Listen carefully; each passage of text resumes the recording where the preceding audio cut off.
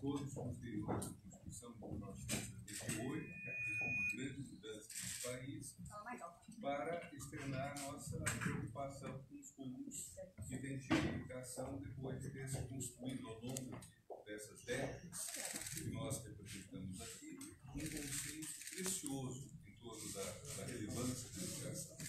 Então, nós, essa reunião de encontro emana vários, várias iniciativas, vários de nós tivemos iniciativas, e o Instituto de Estudos Avançados da USP, na pessoa do professor Paulo mas enfrentado à frente, uh, teve a, a, colocou à nossa disposição, estruturou, organizou uh, esse encontro, e, por sinal, de certa forma, da continuidade a outro encontro, também de arte aberta, que foi o encontro das, dos ex-ministros do meio ambiente, e que coincide com a declaração que saiu hoje dos ex-ministros da Justiça e da Segurança Pública, todos nós mostrando que, apesar das nossas diferenças, divergências, uh, dos governos a que servimos, governos às vezes muito diferentes entre si, apesar disso, compartilhamos uma agenda civilizatória que se expressa no meio ambiente, na educação, na justiça, na, certamente também na saúde, nas relações exteriores. Então, vou pedir ao professor Paulo Saldino, como anfitrião dessa reunião, que faça uso da palavra e depois os ministros sucessivamente falarão, na ordem de seu exercício do cargo, uh, por um prazo breve de cinco minutos e depois abriremos as perguntas, pensando em 10 perguntas da imprensa aqui presente. Então, muito obrigado pela presença de vocês e, por favor, professor Paulo Saldino. Bom dia, senhores ministros, bom dia a todos. É. É um É outra prazer e uma honra ter recebido outra carta. esse evento aqui. Esse evento ele não é, é um evento cuja iniciativa vem dos ministros.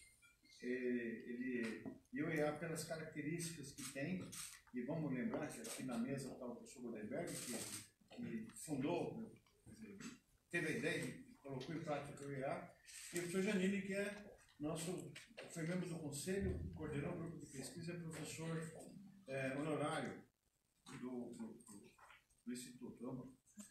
É, o, então, essa é, um- é uma pauta que, que o EF, ele, ele, ele, abriga e dá uma certa estrutura física para que isso ocorra e talvez ocorra outro em áreas como saúde é, e educação, que foi precipitado pela, pela iniciativa dos ministros do meio ambiente. É, o tema da educação, e isso cabe também dentro do espírito do, da universidade, da Universidade de São Paulo, tanto é que nós temos um grupo liderado pe- pelo, por vários professores da USP fora dela, tem dedicado à educação, logicamente educação básica. E a professora a, a, a, a- a Fernanda, ano passado, se alguém quiser saber eh, o que, que a USP tem produzido em termos de propostas de políticas de educação, tem um pequeno resumo e o link do documento original, que eu posso dizer que é bom, não porque eu, eu não participei desse documento, então eu estou dando, talvez seja um dos documentos mais eh, objetivos de eh, eh, sobre, sobre o que talvez pudesse ser um projeto de longo prazo da educação brasileira. E também teve resposta da sociedade civil. Nós temos uma cátedra, que instituída, uma cátedra sem professores, que dá recurso através de tal social, para que a gente possa, durante cinco anos, não só continuar esse debate, como também propor medidas e fazer testes de conceito sobre o que a gente colocou no documento funciona na prática. Bom, então eu só queria agradecer muito a presença de vocês.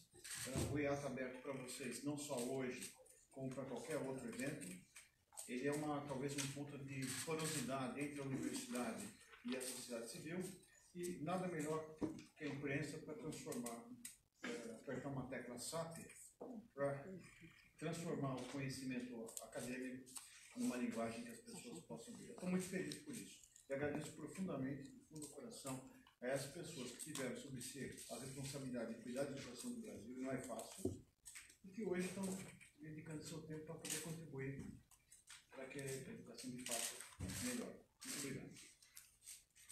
Eu passo a palavra ao professor José Goldenberg, foi reitor da universidade, foi ministro da Educação, está aqui.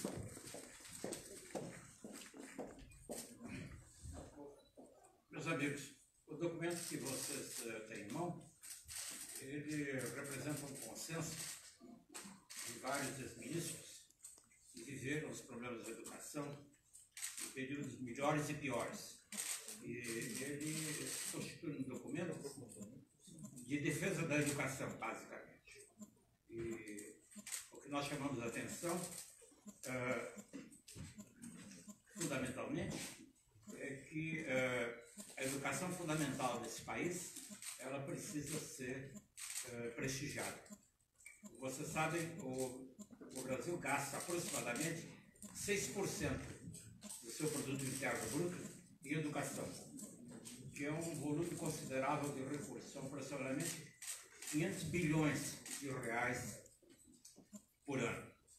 E o Ministério da Educação, que em geral é o que aparece mais nas discussões, ele é, dispõe apenas de um quinto desses recursos. Acontece que ele tem um enorme poder, que é o poder de articulação e de disciplinação do sistema. O sistema é, de educação ele envolve o plano municipal, plano estadual, Bom dia, pessoal.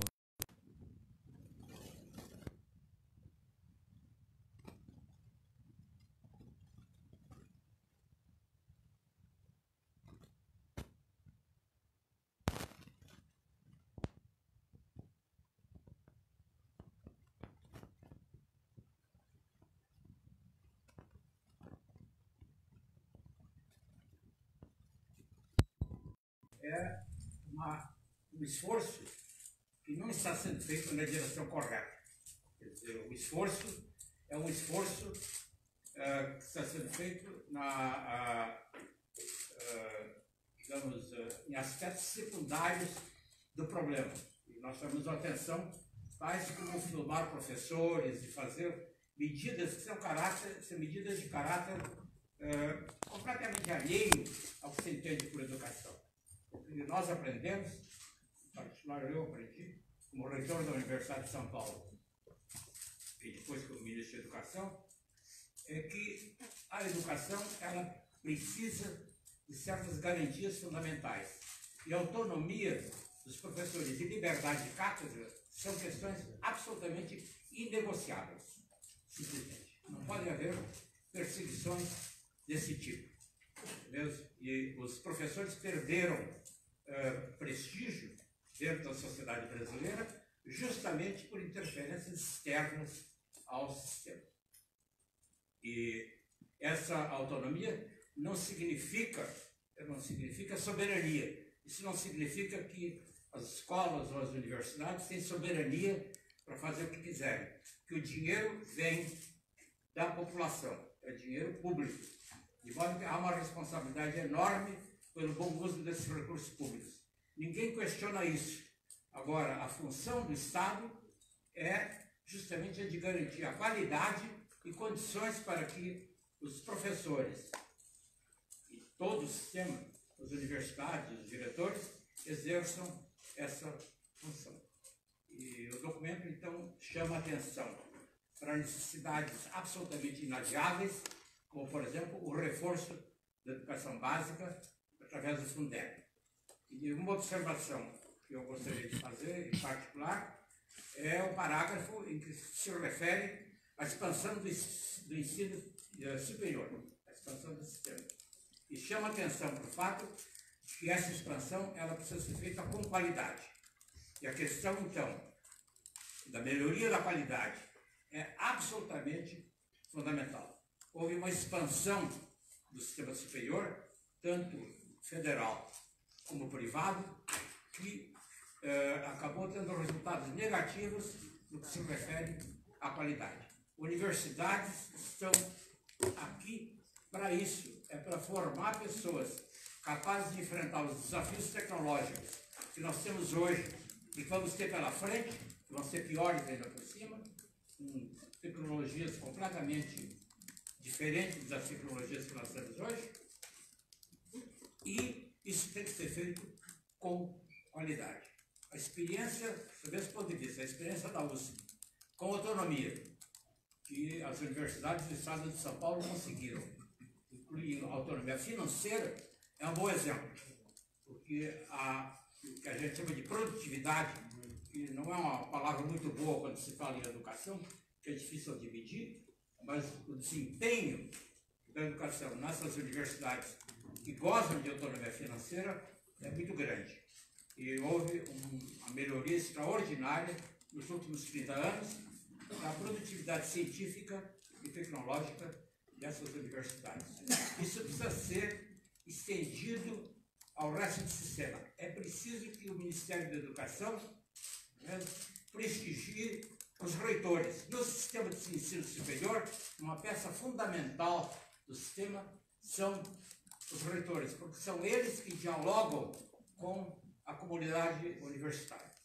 E o nosso manifesto, então, nossa manifestação é nesse sentido, e ela defende a qualidade, sobretudo, uh, nessa área. E além de, de outras atividades, provavelmente tão ou mais importantes, uh, sobre a qual os outros ministros, ex-ministros, vão elaborar.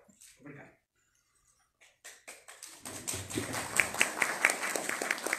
Passo a palavra agora ao ministro Murilo Ringel, que chefiou a pasta no período do presidente Itamar Franco, entre 1992 e 1993. Bom dia a todas, bom dia a todos. Eu gostaria de fazer referência a duas considerações.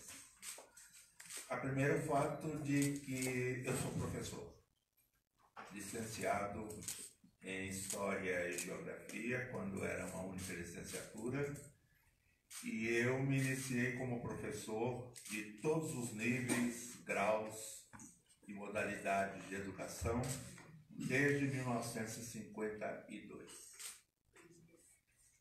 E a outra consideração é de que eu vivenciei os três níveis de educação. Eu fui secretário de educação do meu município, fui ministro da educação e fui secretário de educação do meu estado, Minas Gerais. E, portanto, eu vivenciei as três experiências dos três níveis de administração da educação. Por outro lado, o documento que o conjunto de ministros escreve é um documento muito importante e destaca um ponto fundamental que é a garantia de recursos para que a educação se desenvolva em todos os municípios, estados e em todo o país. E além das contingências atualmente observadas, nós temos lido, acompanhado informações sobre outras medidas previstas pelo governo federal entre elas a reforma tributária. E na reforma tributária, uma das proposições é a de desvinculação de recursos. Quer dizer que aqueles recursos vinculados na Constituição Federal e nas constituições estaduais e nas leis orgânicas municipais essas vinculações desapareceriam.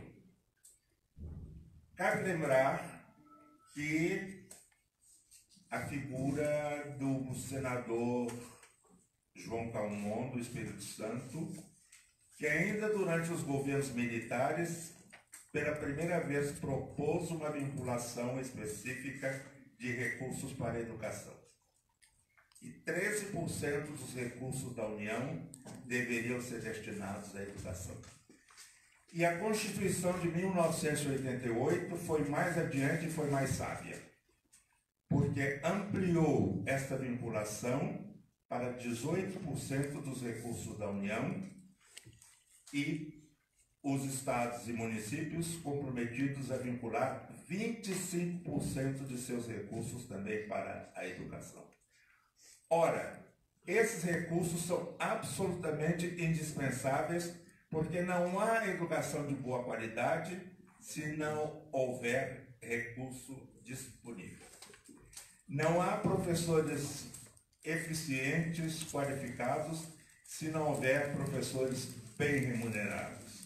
Não há, portanto, como se imaginar que nós pudéssemos cumprir aquilo que o documento está mencionando, a melhoria da qualidade para o desenvolvimento do país, se nós não pudéssemos contar com os recursos indispensáveis.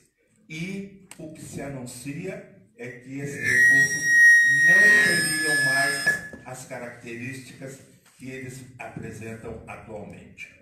Aqui se mencionou que o Brasil destina à educação 6% do PIB e isto talvez ainda não seja suficiente para que nós possamos vencer, superar os desafios e depois, evidentemente, encontrar melhor caminho através do desenvolvimento nacional e do aumento de recursos provenientes de outras fontes que não sejam aquelas fontes oficialmente realizadas. É o que eu queria dizer, concluindo que nesse grupo de antigos ministros, né, ministros, um dos quais me antecedeu, outros dos quais me sucederam, eu represento aqui o interior, porque eu sou professor da Universidade Federal de Juiz de Fora, do interior do país, aqui do estado vizinho, Minas Gerais.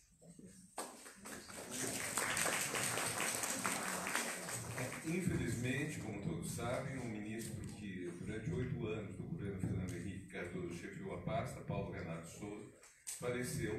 Nós estivemos em contato com a sua secretária executiva, a professora Maria Helena Guimarães de Castro, que contribuiu um pouco para o documento, mas por não ter sido ministra, não quis assinar o próprio documento que ficou entre ministros. Eu passo a palavra então ao ministro Cristóvão Buarque, que exerceu o cargo no começo da gestão do presidente Lula entre 2013 e 2004. Por favor. Bom dia, bom dia a cada uma e a cada um de vocês. Eu quero, em primeiro lugar, dizer que lamento que o ministro Paulo Renato não esteja aqui conosco, fisicamente, mas ele faz parte desse grupo. Esse é um grupo que tem uma característica, além de todos sermos professores, tem uma característica. Nós, ao longo dessas, dessas últimas décadas, embora em partidos diferentes, grupos diferentes, governos diferentes, nós tentamos fazer com que o Brasil saísse da tragédia de sua educação, tanto no que se refere ao atraso dela em relação às exigências do mundo moderno, como também o atraso na sua desigualdade, como é oferecida conforme a renda da família até o endereço da família. Nós temos uma contribuição. Não avançamos na velocidade que gostaríamos. Brasil continua um país com esses dois atrasos, na qualidade média da sua educação de base e na desigualdade como ela é oferecida. E o país não terá futuro se continuar assim. Não terá futuro econômico, cuja eficiência depende da educação, daqui para frente e nem terá justiça social, que depende da distribuição do conhecimento nas escolas igualmente, para que, pelo talento, nós eliminemos a desigualdade abismal que nós temos. E aqui existir que seja pelo talento. Esse grupo que deu essa contribuição está aqui hoje porque nós sentimos uma ameaça nessa marcha que foi feita ao longo dessas décadas, embora numa velocidade menor do que gostaríamos. Nós sentimos o risco da autonomia universitária, nós sentimos o risco da contribuição financeira do governo federal para a educação de base nos municípios e estados, nós sentimos o risco de uma intervenção sectária tentando tirar a liberdade de cátedra dos professores. Nós estamos aqui porque sentimos uma ameaça. Eu confesso que quando veio o segundo turno das últimas eleições, eu senti que nós entraríamos num período tão difícil. Aliás, por isso que no segundo turno votei no Fernando Haddad. E eu tenho certeza que a educação estaria muito melhor nas mãos dele.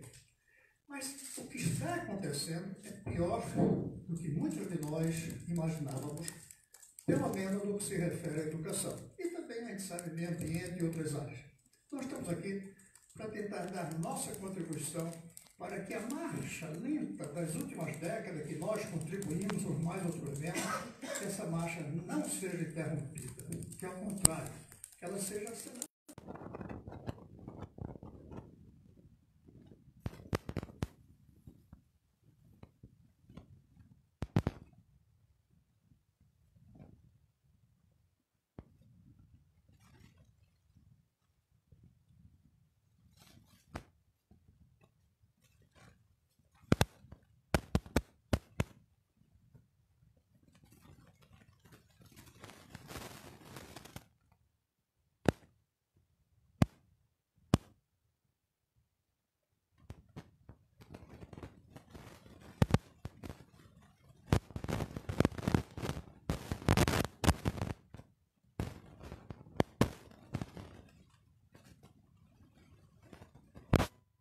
Leve a nossa preocupação, a nossa angústia a todo o Brasil. Muito obrigado por vocês estarem aqui.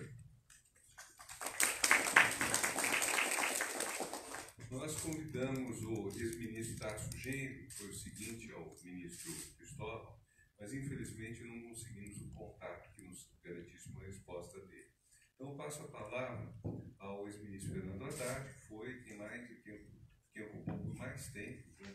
ele empatado talvez com o Campanema e uh, quase, quase. Então, todos por mais tempo ocupou a pasta da educação do Brasil. Na verdade, eu, eu passei oito anos, mais um ano e meio como secretário executivo. Então, seis e meio como ministro.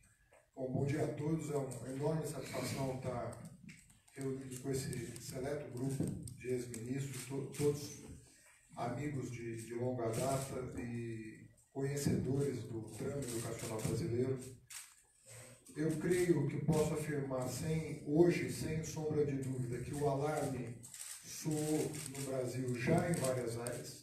Hoje mesmo tem uma manifestação de 11 ex-ministros da Justiça em artigo publicado no jornal Folha de São Paulo, mas o mesmo acontece na economia, na segurança pública, meio ambiente, relações exteriores, direitos humanos e, infelizmente, não está sendo diferente na área da educação.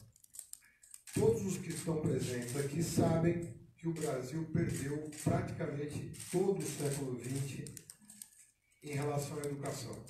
O Brasil foi um dos últimos países a acordar para a agenda da educação. Obviamente que o marco temporal que todos reconhecem como histórico é a Constituição de 88 e é por isso que nós procuramos reunir todos os ministros a partir dessa data, que sabem, sem nenhuma exceção, que nós temos um século para recuperar, diante de uma revolução tecnológica que está em curso e que nos coloca um desafio enorme né, de cumprir todo um atraso de, de praticamente 100 anos.